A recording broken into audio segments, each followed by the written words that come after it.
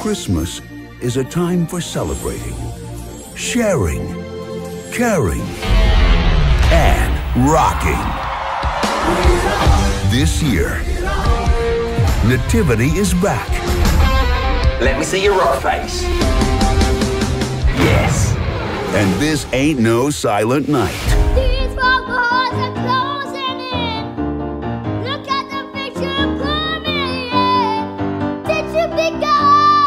You be And that is how you rock and roll. Almost. Nativity rocks. Coming to cinemas Christmas 2018.